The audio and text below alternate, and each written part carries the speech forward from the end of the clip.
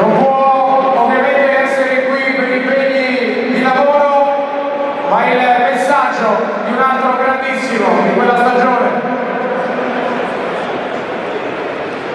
Ciao. Ciao.